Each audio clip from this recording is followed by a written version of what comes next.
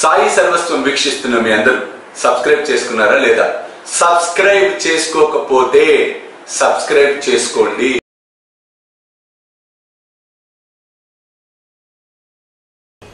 మరలా సోమదేవ స్వామి కథ చూస్తే మరల మనకు అర్థమవుతుంది. సోమదేవ స్వామి కైలాస మానసరోవర్ యాత్ర చేసి షిరిడీకి వస్తాడు.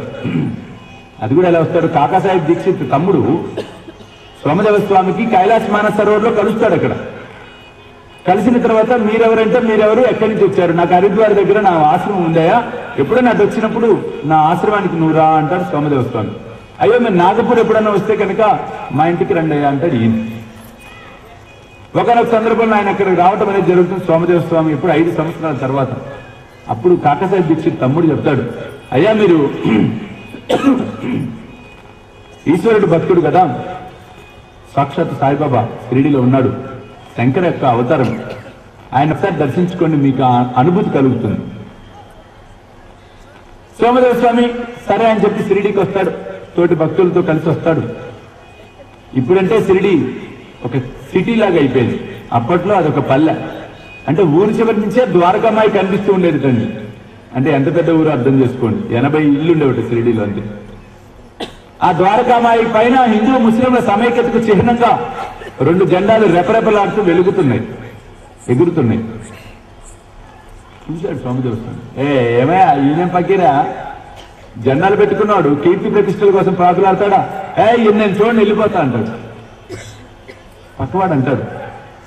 అయ్యో వీటికి ఇలా అంటారేంటండి ఆయన దగ్గర గుర్రాలు పల్లకీలు ఇవన్నీ కూడా ఉన్నాయి తెలుసా అని. అమ్మో అమ్మో అమ్మో అయితే ఇటువంటి వ్యక్తి దగ్గర నేను రా నేను వెళ్ళిపోతా అంటాడు. పక్క వాళ్ళందరూ తిడతారు ఇంత దూరం వచ్చి వెళ్ళిపోతావా? రా. చూడ ఏమైంది? వచ్చావు కదా ఎలాగో రా. అని. స్వామి లోపలికి వెళ్తాడు. బాబా అలా చూస్తాడు. చూడగానే ఒక విధమైన నిశ్చేష్టుడైపోతాడు. అప్పుడు బాబా అంటాడు రే మా జెండాలు మా పల్లకీలు మా దగ్గర ఉండనీరా. నీకేమిటి అడ్డు? పో, అన్నాడు బాబా. ఉలిక్కిపడ్డాడు స్వామి స్వామి. అంటాడు. ఇప్పుడు మళ్ళీ బాబా అంటాడు. ఒకడు ఉన్నాడురా సంసార భారాన్ని మోయలేక భార్యను వదిలేసి సన్యాసం స్వీకరించి కైలాస మానసరుడు వెళ్ళొచ్చాడురా. వాడా మనిషి అన్నాడు బాబు. సోమదేవ స్వామి వణుకు వచ్చింది. తన స్టోరీయే చెప్తున్నాడు బాబు. అర్థమైపోయింది. పరిగెత్తుకుంటూ బాబా పాదాల మీద పడతాడు. బాబా క్షమించి బాబా. అహంకారం చూసావు బాబా? నీ దర్శనంతో మొత్తం పోయింది దేవా. కారణం? అప్పుడు అనుభూతినిస్తాడు నిజంగానే శంకరుడులాగా కనిపిస్తాడు బాబా. దివ్యమైన అనుభూతిని ఇవ్వటం జరుగుతుంది సోమదేవ స్వామికి. అందుకే అవతరసి తు ఏత ధర్మాంతే గ్లాని నాస్తి కానాహితు లావిసి నిజ భజని దావిసి నానా లీలా అసంఖ్య రూపాన్ని హరసి దీనాంచేతు సంకట దినరజని సంకటాలన్నీ తొలగించేస్తున్నావు. ఏ సంకటం? మన ఒక్కల సంకటాలు కాదు. భూమికి ఉన్న సంకటాన్ని తొలగిస్తున్నావు నువ్వు.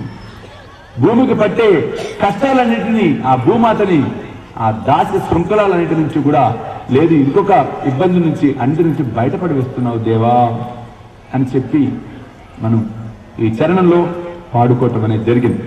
సాయి భోజన్ ఇది అన్నార్థుల కోసం అద్భుతమైనటువంటి కార్యక్రమం.